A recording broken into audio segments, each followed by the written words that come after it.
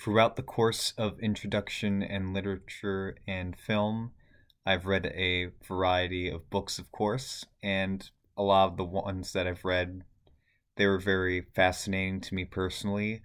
Uh, 1989, A Clockwork Orange, and Emma, they all had their own unique characteristics and were very different from the type of books I normally read, and like they had their own form of writing that I'm not very used to. So it was very fascinating to read those. But overall, if I had to choose one, it would have to be Frankenstein for my favorite overall book that we've read for this semester. Now, admittedly, I'm a little bit biased towards this one in particular, just because A, you know, I have an interest in horror and Frankenstein is one of the most important horror novels ever made, and as well, it's the only one of these books that I've actually read before I went into this class. But even if that wasn't the case, I still feel that Frankenstein would be my overall favorite novel. And the main reason for that is that A, it is incredibly well written not to say that the other ones aren't 1989, A Clockwork Orange, and Emma, and even Arena. Uh, those are well written too, but something about Frankenstein, it has this consistent pace, whereas the other four stories, I feel like they take their time to. It's hard to explain, but essentially the writing like meanders in certain points. So while, Frankenstein continually has my interest in it throughout the whole story.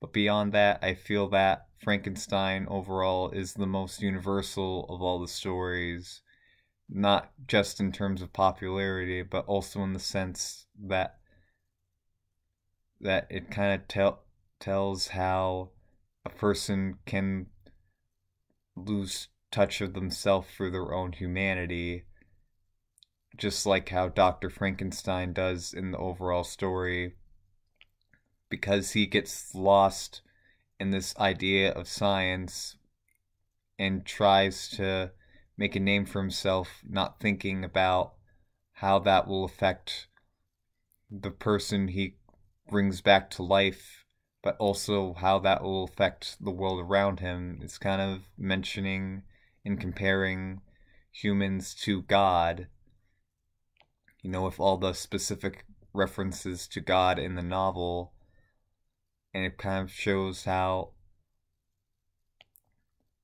there are certain things that we just aren't meant to do or see. Human beings aren't supposed to have certain abilities. We aren't supposed to play God.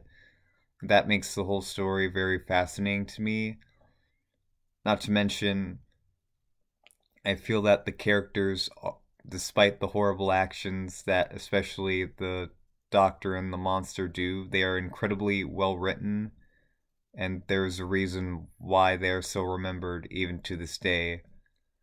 And that's why, overall, Frankenstein was my favorite novel out of all of the novels that we read for this semester.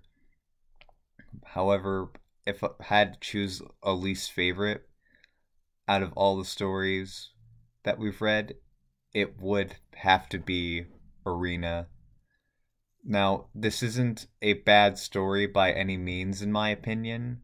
However, one problem that Arena has is just a comparison because 1989 clock in A Clockwork Orange, they're two of the most important novels ever made. Same with Frankenstein, and then Emma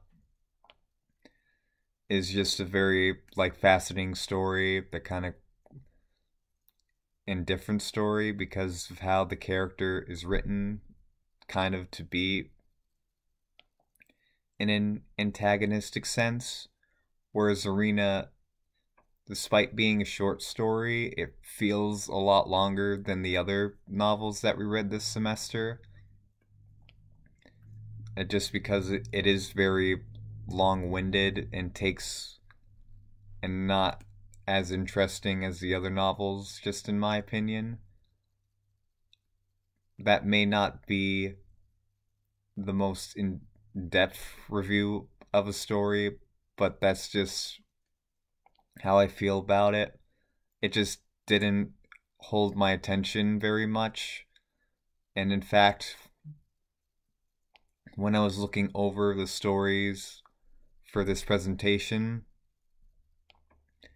I forgot for a while that we even read Arena this semester, so that kind of goes to show that the story didn't leave much of an impact on me overall, which you can't say for the other stories because they are very memorable and unforgettable, I would say, as in, at least in, to some extent. And then Arena, I, I even forgot existed and I read it this semester. I know like Arena does have its place in the literature space, but overall it just didn't hold my attention very much. However, despite it all, I did enjoy reading all these stories to some extent, and I'm happy that I took this class overall. Despite this, it will be Frankenstein that I'll probably remember the most about this class.